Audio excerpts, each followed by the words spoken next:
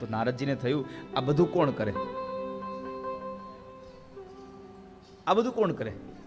એના કરતા એક કામ કરીએ. ભગવાનનું ભજન કરીએ. પરમાત્માની કથા સાંભળીએ.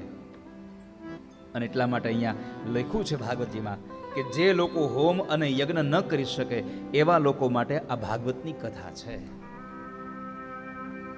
किरातहूणान्द्रपुलिन्दफुल्कसा आभीरकङ्का यवना असादय। येन्ये च पापा यदुपाश्रयाश्रया।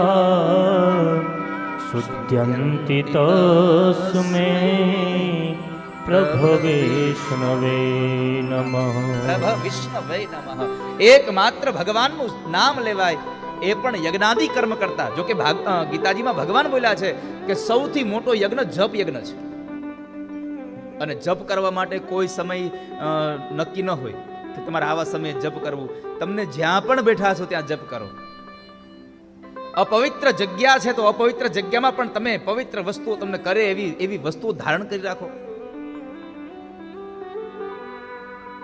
પવિત્ર જગ્યામાં પવિત્ર કરે એવી વસ્તુ ઓછી પહેરાય, પણ અપવિત્રમાં પવિત્ર કરે એવી વસ્તુ વધારે પહેરી રાખાય